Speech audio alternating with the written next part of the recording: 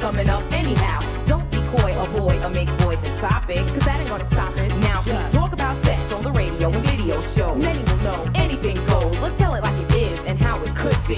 How it was and of course how it should be. Those who think it's dirty have a choice. Pick up the needle, press pause, or turn the radio off. Will that stop us, Pep?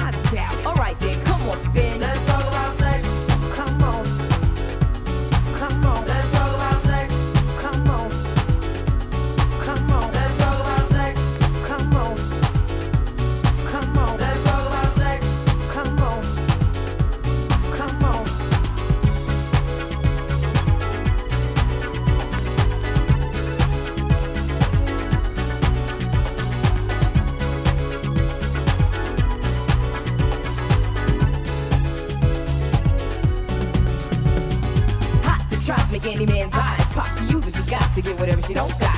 Fellas do like fools, but then again, they're only human. The chick was a hit because her body was booming.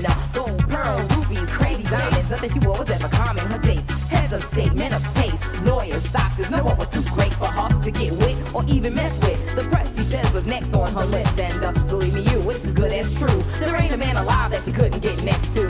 Ooh, she had it all in the bag. So she should have been glad.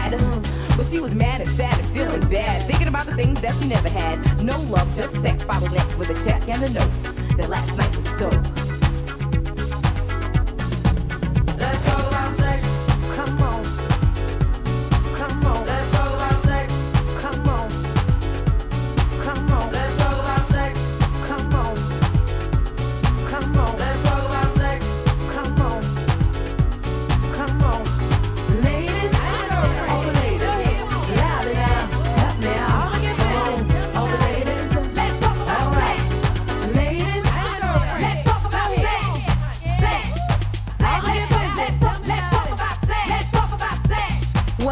here is subject to controversy.